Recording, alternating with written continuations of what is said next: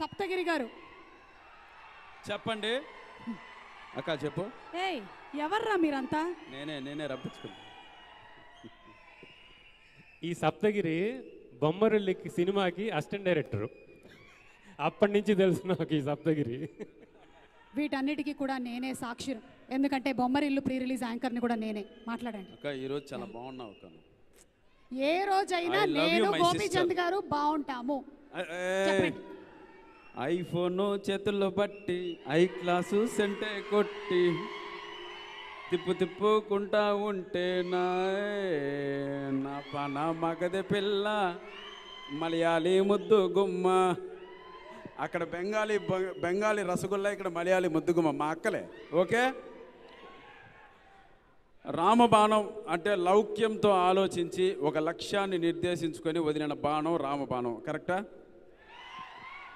గోపన్నతో నేను చాలా సినిమాలు చేశాను.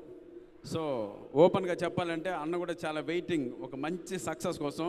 అన్న టైటిల్ ప్రకారమే రామబాణం వదిలావు. అది కరెక్ట్గా లక్ష్యాన్ని నిర్దేశించి గురి చేసి మే ఐదో తారీఖు కొట్టేస్తున్నాం సో మనస్ఫూర్తిగా కోరుకుంటున్నాను ఈ సినిమా పెద్ద సక్సెస్ అవ్వాలని. ఈ సినిమాలో నాకు అవకాశం ఇచ్చిన వాసన్న వాసన్న కూడా ఈ సినిమా సక్సెస్ ఎంతో అవసరం. మీ సక్సెస్ నాకు కూడా అవసరం అది ఇంకో పది రోజుల్లో బయటపడుద్ది. సో ఈ బ్యానర్లో పనిచేసే అవకాశం రావడం మనస్ఫూర్తిగా కోరుకుంటున్నాను.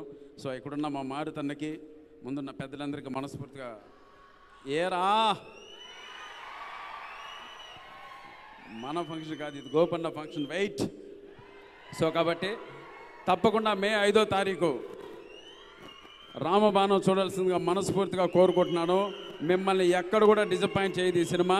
ఈ మధ్యకాలంలో ఇంత ఫ్యామిలీ ఓరియంటెడ్ సినిమా రాలేదు. మీతో పాటు మీ తల్లిదండ్రులు కూడా తీసుకొని రండి.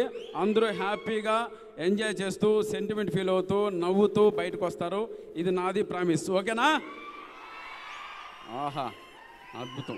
Thank you thank you thank you so much and Abu Ravi గారికి మరొక్కసారి మైకు. సారీ శ్రీనివాస్ గారి గురించి చెప్పడం మర్చిపోయాను ఇందాక.